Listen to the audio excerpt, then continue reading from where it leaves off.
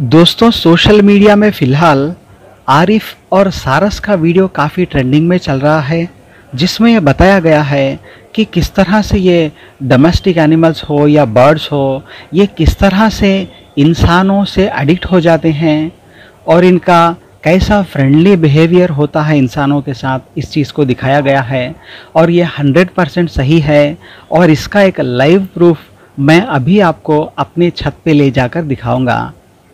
दोस्तों, मैंने बचपन से एक छोटा सा मुर्गा पाला हुआ था। अभी वो इंसानों से इतना एडिक्टेड हो चुका है कि मैं जैसे ही अब छत पे जाऊँगा, वो जहाँ भी होगा सीधे आकर मेरे साइड पे बैठ जाएगा। अभी मैं आपको लाइव दिखाता हूँ। तो मैं आपको ले चलता हूँ पहले अपने छत पे।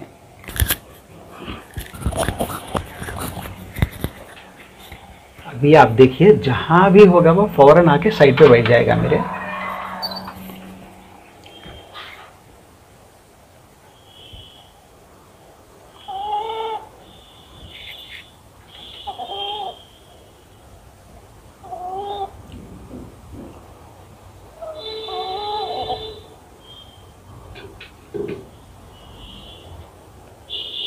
ये देखिए गाइस ये मेरे साइड में आ चुका है फ़िलहाल।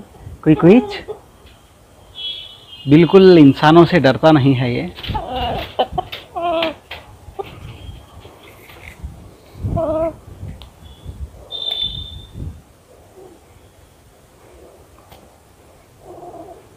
तो बचपन से इसे पाला हुआ है। और ये इसी तरह से इंसानों में ही घुल मिल जाता है, काफ़ी फ्रेंडली रहता है। और ऐसा नहीं कि मैंने इसे कहीं पर बाँध के रखा हो, बल्कि ये जो पूरा छत है मेरा, पूरा छत इसके लिए रख दिया है। और जितने भी सराउंडिंग्स में हमारे धाबे दिखाई दे रहे हैं आपको, ये सभी जगह पे घूम के आता है और रात को जो है, वो यहाँ पे इस बाथरूम में सो जाता है। और यहाँ पे छोटा सा शेल्टर भी इसके लिए बनाया हुआ है हमने, ताकि थोड़ी सी छाया रहे और पूरे छत पे घूमता रहता है, बाकी सारे सराउंडिंग्स में भी घूमता रहता है। और काफ़ी बार मैंने ट्राई किया इसको बाहर छोड़ने के लिए, क्योंकि अब इसको पाला है तो इसको खा तो नहीं सकते। इसीलिए काफ़ी बार मैंने ट्राई किया कि कहीं पे बाहर इसको छोड़ दूँ तो ये अपनी लाइफ जी लेगा। लेकिन जितनी बार भी इसको बाहर छोड़ा है, वो फ़ौरन वापस ही आया हुआ है घर पे। तो अभी इसका क्या करना है कुछ समझ में नहीं आ रहा।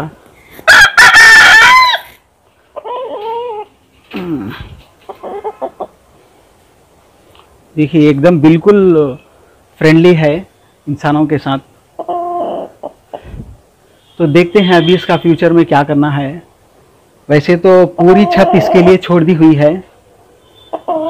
एक बार फिर से ट्राई करता हूँ बाहर छोड़ने की। देखते हैं, हो सकता है शायद ये चला जाए। वैसे तो मैं चिकन लवर हूँ, लेकिन क्योंकि इसको पाला है, इसलिए इसका कुछ कर नहीं सकते। सो देखते हैं अभी क्या करना है। Thank you very much guys कौन है ये लोग? कहाँ से आते हैं